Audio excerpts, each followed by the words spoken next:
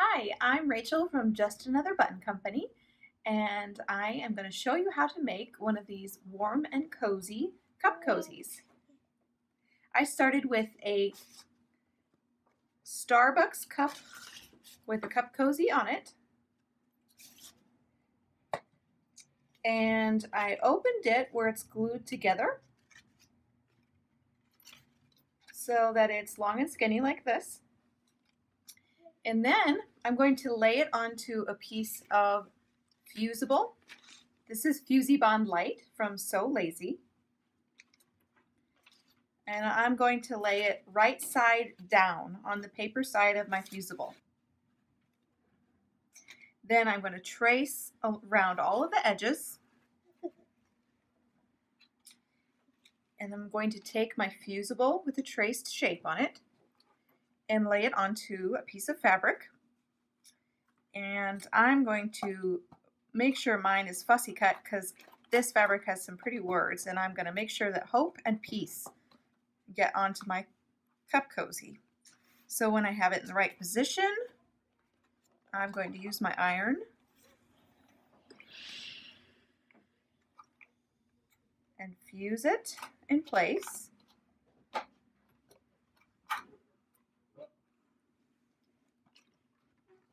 And then I'm going to cut on the lines.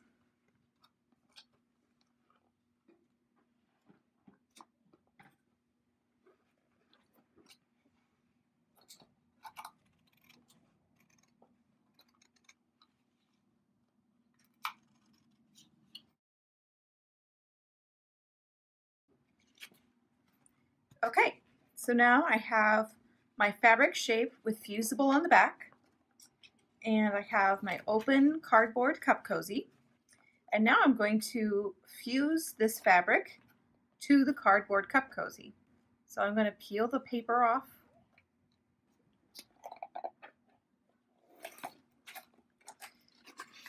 And I'm going to center it and match the cut edges.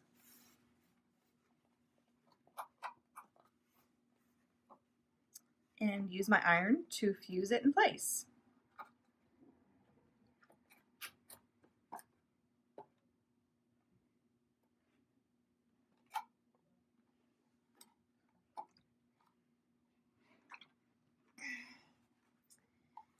Now I'm going to machine stitch one quarter of an inch from the edge all the way around the shape. Okay, so now I've sewn around the edges quarter of an inch from, from the edge with a straight stitch. And now it's time to fold this up and sew it together. So I'm going to fold it where it was folded when I originally took it apart. And I'm going to overlap the ends. The notched edge should be on the bottom. So overlap it just a bit. And then I'm going to use clips. These are Clover Wonder clips. I'm going to hold mine together and it looks like it's the right shape again. So I'm going to hold it like that and then I'm going to pick out a button. Let's see. I think I like this one the best. And I'm going to put the button so that when I sew through, I'll be sewing through both layers because this is what's going to keep these two layers together.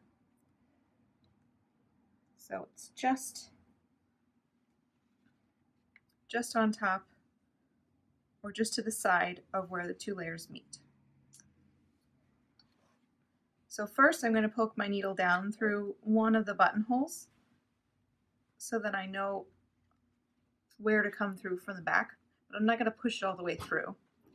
So I'm poking just to make a hole, and then I'm going to put my needle in from the inside going to pull my thread most of the way up, but not all the way. And then I'm going to push it back down through the other hole.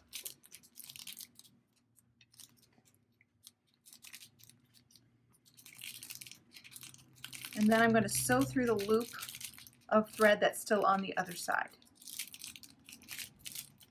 That's just going to help secure my thread on the inside. And then I'm going to sew back up through the first hole.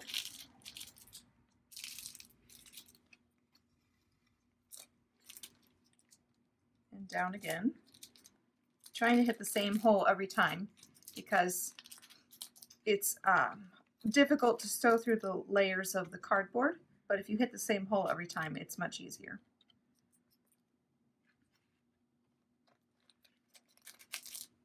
I'm going to sew through the button three or four times just to make sure that it's nice and secure. Then when I've got it sewn on there, I'm going to look on the inside and I'm going to sew, I'm going to run my needle under the threads that are running along the back of the button. And that's going to create this loop that I'm going to put my needle through. Sewing through that loop and pulling it tight. And I'm going to do that a couple of times to secure my button on the back side of the cardboard.